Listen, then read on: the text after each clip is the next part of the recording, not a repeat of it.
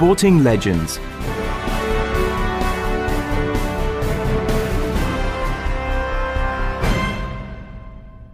Dmitry Balandin Kazakhstan's famous weightlifters, boxers, and wrestlers have won countless Olympic medals for their country.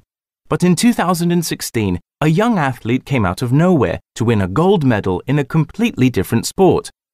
Born in Almaty in 1995, Balandin won three gold medals in the breaststroke events at the 2014 Asian Games.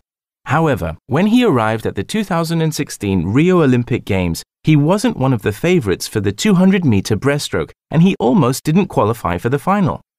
Against all odds, the determined swimmer surprised everyone by winning the first ever gold medal in swimming for Kazakhstan.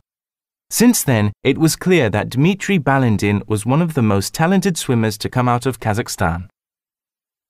Adam Peaty When Adam Peaty was a child, he was terrified of water and would scream whenever he had to go in the bath.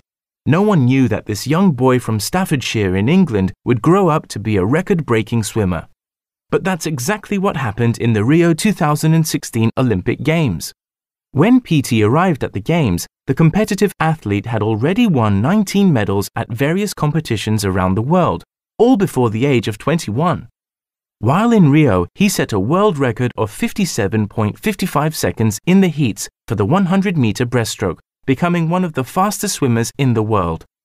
But even more amazingly, in the final, he beat his own record and won the gold medal for Great Britain with a record time of 57.13 seconds.